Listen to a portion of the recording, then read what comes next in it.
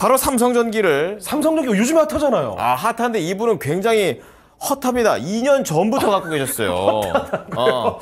왜냐? 15만 8천 원에 20%. 아하. 2년 전이면 이분은 이런 컨셉. 삼성전기가 아, 4차 산업의 쌀, MLCC. MLCC 막 이런 얘기 나올 때 사신 아하. 거고 요즘은 유리기판이에요. 그렇죠. 예, 그렇습니다. 유리기판이에요. 그래서 어, 매수가만 오면은 흘러내려가니까 아 이거 참 LG 이노텍으로 갈까요? 이렇게 말씀을 하십니다. 네. 과연 삼성전기 이제 좀빗 들어오는 것 같은데 어떻게 될지 알아보겠습니다. 전문가님 유리기판 쪽에서 좀 괜찮을 것 같은데 어떻게 보세요?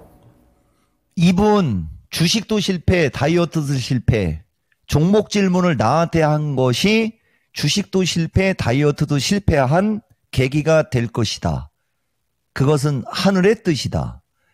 두 번째, 삼성전기 같은 주식 들어가서 이 왔다 갔다를 못 버티고 변심을 생각하는 그 마음가짐 이 기회에 고쳐라. 이거 이상 독담 없어요. 그리고 비중이 저게 뭡니까? 더 사야죠. 삼성전기 아까 내가 얘기했지만 오늘 내 방송을 실시간으로 듣는 사람들은 그 자체가 행운일 겁니다. 삼성전기는 기술적으로 최소 아무리 못 가도 16만 5천 원에서 17만 원이고요. 이거 절대 손실 안 나요.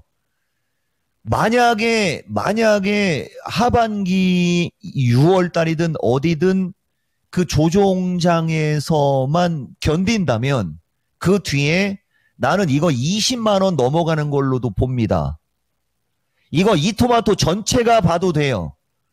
내 말이 맞고 틀리고는 가보면 알아요. 다만 6월 달쯤에 지수가 조종받을 때는 이 주식도 흔들릴 수는 있는 걸 감안하고 들으셔야 돼요. 결론 당장 더 사시오. 나를 믿는다면 대신 틀릴 수도 있습니다. 그렇지만 나는 지- 지금까지 이런 식으로 이야기해서 틀려본 적 없는 거 이런 데이터들로 확인시켜줬죠. 삼성전기 만만히 보지 마라. 내가 삼성전기야. 이럴 날 온다라고 봅니다. 꽉 잡고 계시고 더 사도 됩니다. 끝.